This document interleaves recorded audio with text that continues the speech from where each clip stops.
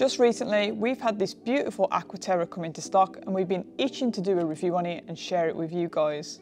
In my opinion, this is one of the best looking Aquaterras out there. It's really unique and quite rare too. So welcome to this week's review. If you're new here, I'm Jen and I belong to the Watch Village where we sell pre-owned luxury watches. And from time to time, every now and again, we like to throw in a little YouTube review just so we can share some of the lovely watches that we get in stock with you guys. And today we're looking at one of Omega's surf and turf watches, aka this beautiful wave dial Aquaterra. So let's talk about it, shall we? This watch was introduced to the Aquaterra line in mid-2016 and aesthetically it's one of the more unique Aquaterras thanks to its unusual dial pattern. Rather than featuring the typical teak concept pattern like what we get on the majority of Aquaterras, we instead have a height and wave pattern on this one that's basically the same one that was used on the Seamaster 300 that was brought out for the 2016 Rio Olympics. Funnily enough though, Omega referred to this pattern as the sidewalk pattern because it was originally inspired by the iconic mosaic in the Copacabana sidewalk.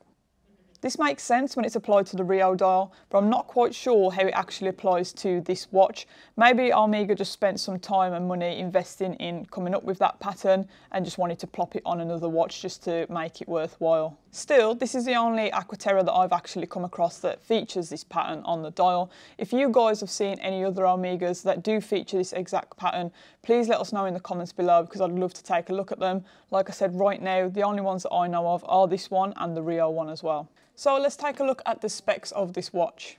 This one's got a case diameter of 41.5 millimeters with a thickness of 13.2 millimeters and a lug width of 48 millimeters. Here's how the watch looks on my tiny 6 inch wrist versus Jack's 7.5 inch wrist. And as you can see here, it is looking very oversized on mine, which means that it is probably too big for the majority of women out there or for those who are members of the small wrist club just like me. But in all fairness, when it comes to watch sizing, it is all about personal preference. Obviously this watch would technically be classed as oversized for me, but there are plenty of people out there that do like that oversized look. So if that's for you, then go for it. Don't let anyone else stop you. But if we did have to get technical on it, I would recommend this watch for wrist sizes of six and a half inches and above. As you can also see here from this side shot, the watch actually doesn't sit too tall off the wrist, so it is good to wear under the cuff as well.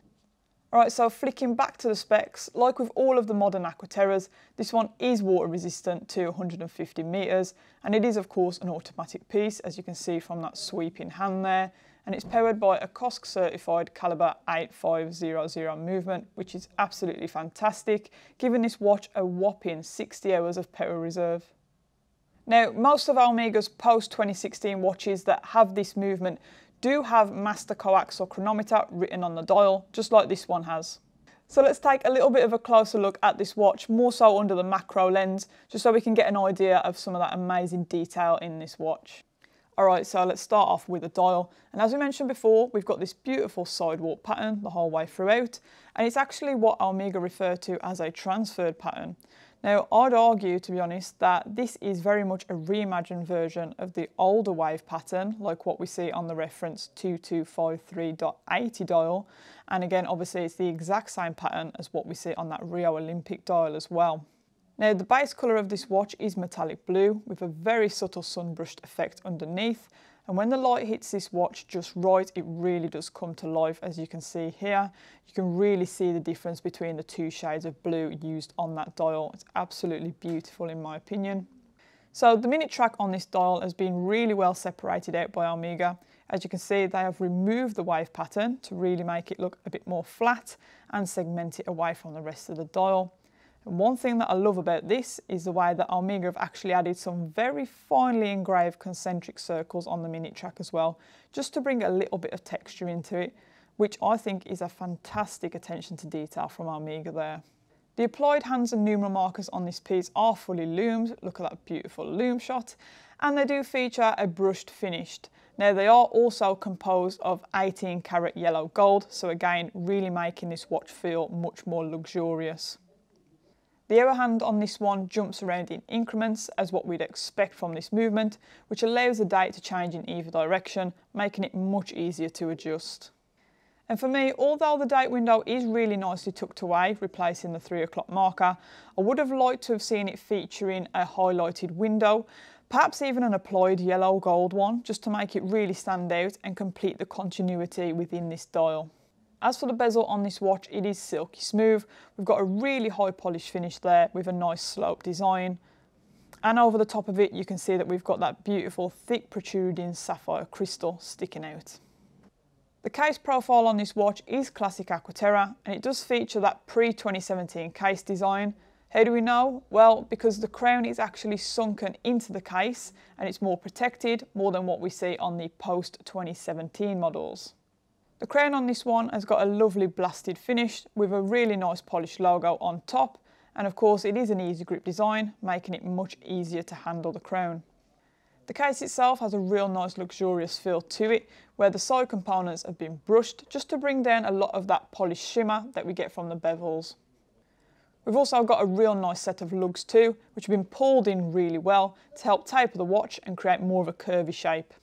Now the bracelet on this watch does complement it very well, again continuing that luxurious feel throughout, the links have actually got a sandwich design whereby the middle portion is polished, sandwiched either side by two thinner strips of brushed steel. And when we flip the bracelet onto its side, you can see here that the outer sides have also been polished and all of the removable links are screw fixed, making it a very easy watch to adjust. Now taking a look at the clasp, you can see here that we've got a twin triggered butterfly setup, whereby you have to press both of the triggers in to get this one open. And then when you do that, it does only open up on one half. You have to give it a bit of a pull on the other side just to open it fully. When we close the clasp back up, you can see here that we've got the Omega logo that's been engraved onto the clasp. And you might also notice that there's no additional micro adjustment. Instead, we do, however, have the half links just for those finer adjustments. The case back on this one is in my favourite style, which is the exhibition style. That means that we can see the inner workings of the watch. So right here, you can see that beautiful caliber 8500 working away. And as we mentioned at the start of this video, this one is a COSC certified movement with a 60 hour power reserve. It's even got anti-magnetic and shock resistant properties. So it really is a fantastic and impressive movement all around. This one really is special for me and I will be sad to see this one go.